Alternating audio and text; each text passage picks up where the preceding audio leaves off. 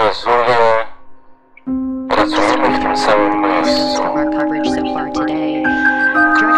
Jest. Spotkałam cię wczoraj. Nie wiem, czy nie wiedziałeś, ale zwróciłam na ciebie uwagę.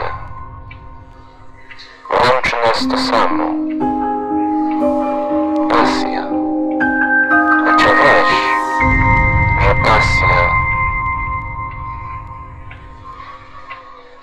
Być zapalnikiem czegoś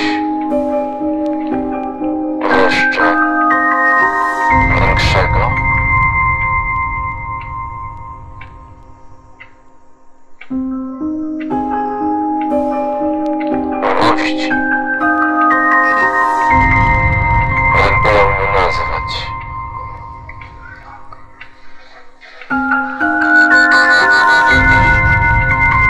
A gdzie teraz jesteś?